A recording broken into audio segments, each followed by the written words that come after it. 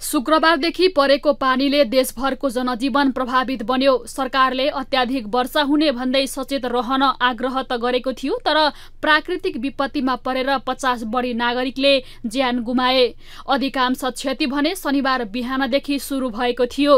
बाढी र पहिरोका कारण देशका अन्य भागमा असर त पर्यो नै देशकै राजधानी काठमाडौँ समेत नराम्ररी प्रभावित बन्यो।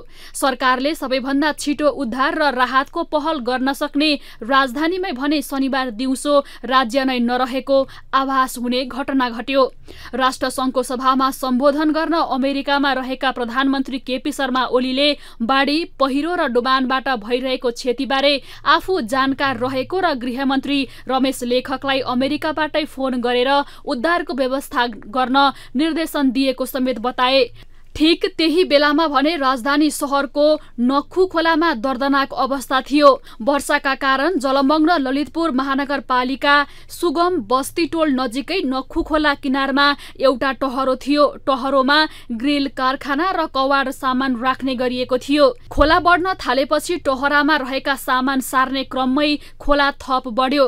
खोला बढेपछि रौतहटका राजु शाह उनकी छोरी छ वर्षीय मेघना शाह राजुका भाइ बाइस वर्षीय राज शाह राजकै छोरी करिब चार वर्षीय शेरतु शाह ज्यान जोगाउन जस्ताको टहरामाथि चढे।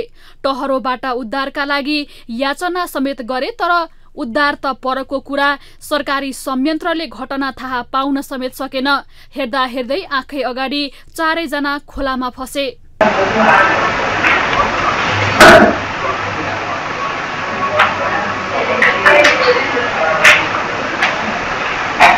Thank you.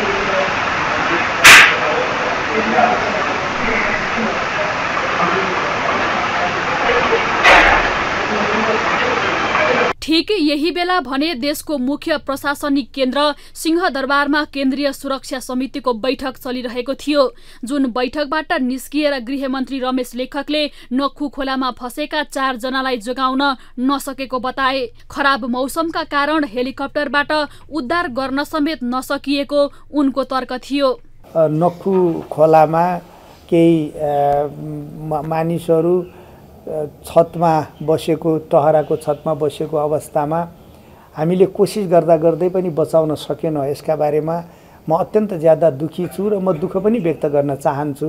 किनभने हेलिकप्टर उडाएर रेस्क्यु गर्ने कुरामा भिजिबिलिटीका कारणले हेलिकप्टर उडाउन सकिएन।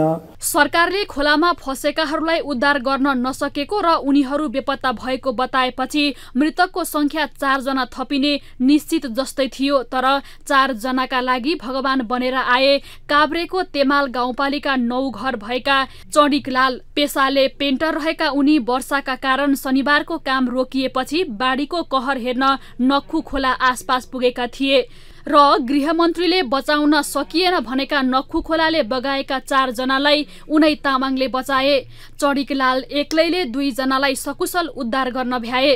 बगेको ठाउँबाट करिब तिन सय मिटर तलबाट उनीहरूलाई चडिक लालले नै निकालेका हुन्। खोलाले बगाएका मध्ये एकजना भने आफै पौडेर निस्किए तर एकजना बच्चालाई भने कसैले बचाउन सकेनन्।